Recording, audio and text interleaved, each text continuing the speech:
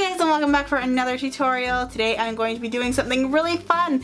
I am doing a collaboration video with Whitney Sews. I'm so excited. We've been doing this for about a couple months now trying to go back and forth, figure out what we want to do, and we finally figured it out. So today is the day. Um, so we both decided we were going to do something quilted related. So here is what she made. She made this beautiful paper piece quilt block.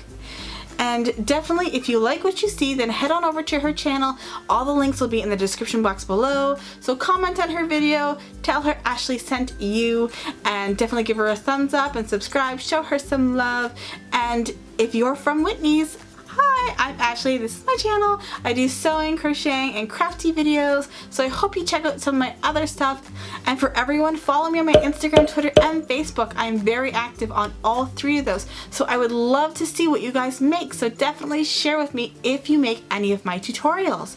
So let's get into my tutorial. So today I'm going to be showing you how to make this really beautiful no-sew quilted ornament. Isn't it absolutely beautiful? It is so easy to make and it definitely gets heads turning when people see your Christmas tree. It is a perfect gift idea and also if you're into those crafty fairs, it is something you could definitely sell. So it's double-sided and today we're going to be working with cotton, straight pins, a 3-inch styrofoam ball, and some beautiful ribbon. So if you're interested in learning how to make this, then definitely stick around. Okay, so the first thing we are going to do is cut our fabric. You're going to choose two different types of fabric for this design. You're going to have your main fabric and then an accent fabric. So I chose to do the poinsettia as my accent fabric and the main fabric is going to be my polka dot.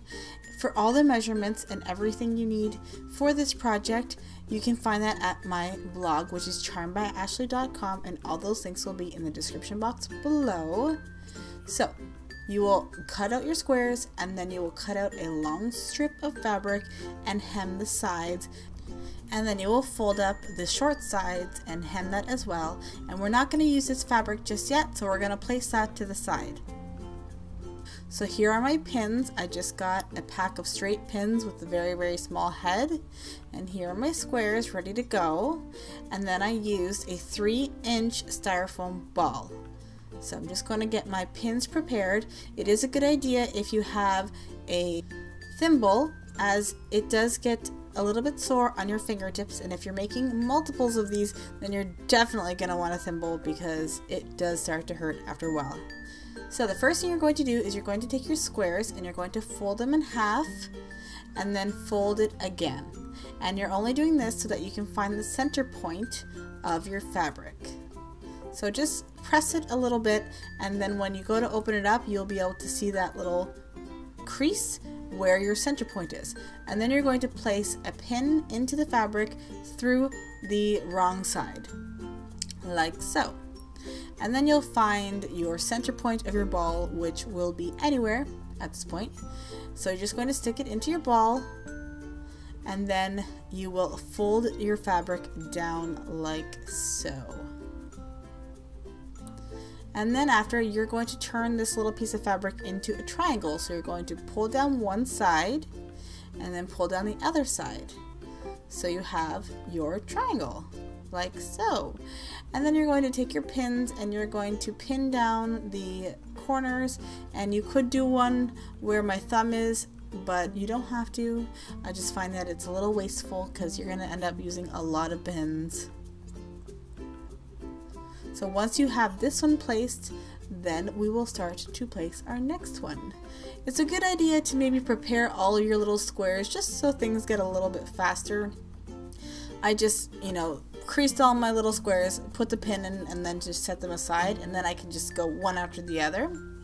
So now I'm going to go into the exact same spot with my next pin, just, you know, putting it as close as I can to the first one. And again, we're going to fold it down and then we will make that triangle again. So I'm sure you can probably see where I'm going with this, but we're going to do it two more times and then that will be the base of our ball. You will have a star in the center, so just make sure that whatever fabric you use for this part, it's the one that you want to see in that little star shape. Okay, so this is how it should look after you've placed four of your triangle pieces. And they might not be going together perfectly, but that's okay if it overlaps in some areas. Now we're going to start on the next one. So I'm using a different fabric here, and of course I'm going to be creasing the fabric and finding my center point. And now I'm going to be working in the space between the triangles. So not in the center of the triangle, in between the pieces of fabric. So I measured about a quarter of an inch down from the center of the ball and I will place that pin. So you're just going to make sure that when you do make the triangle that it is somewhat symmetrical on either side and it looks like there's about a quarter of an inch of that triangle underneath showing also. If things don't look perfect though, by the time you get to your next couple rounds, you'll be able to adjust some of the fabric from the first two rounds. So don't worry if it doesn't look perfect just yet. So I'm to keep going, adding my second piece of fabric, making sure that it is in between the previous row of triangles. And every time we do a round, we're to put four pieces of fabric. So as long as you've done four for every round, then you don't have to worry. And they all will be symmetrical where they are placed across from each other. You know what I mean? Very, very easy stuff. So at this point, your fingers are probably feeling a little bit tender. That is what I am talking about. you might get calloused if you decide that you want to make a lot of these without a thimble. Okay, so you've placed your second round of four pieces of fabric. Now we're going to go ahead and do the next round and we're going to stick with that same fabric from round two. But we're going to go in between the previous round. And you can now see the center star is starting to show up. It almost looks like ribbon tails when you go to place this next piece of fabric. It's starting to look really, really pretty. So I'm to keep going and I'm going to do my third and fourth piece. And then we are going to go back to our previous fabric, which would be the polka dot, or you could switch it up. It's totally up to you. This is your ornament. And now we are going to go again in between the previous row down a quarter of an inch from that point and we're going to start placing our triangles again. This is going to be the second to last round. So you're just going to keep going. I'm going to speed it up a little bit so you guys can see.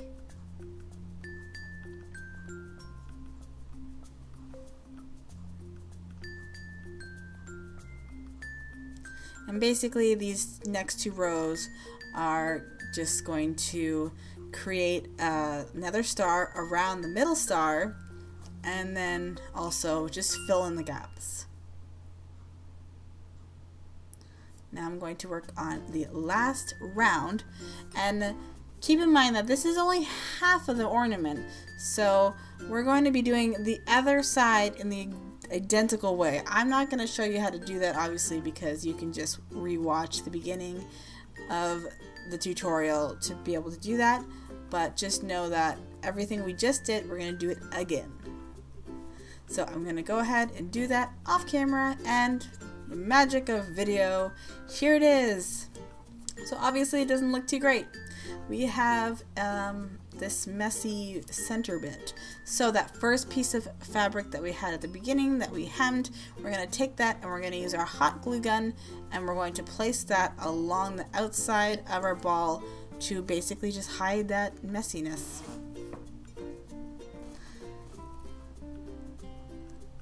So there's not really any other easy way to do this other than just hot gluing it. So I'm going to do a little bit at a time, going around it, making sure that I catch all the pieces of fabric. And then we're going to grab some pretty ribbon and we'll cut about an 8 to 10 inch piece. And before we finish placing that strip of fabric, we're going to tuck that underneath, place a pin for extra security, and then we'll finish gluing that strip of fabric. And then you can take your ribbon and, you know, you can make a bunch of loops.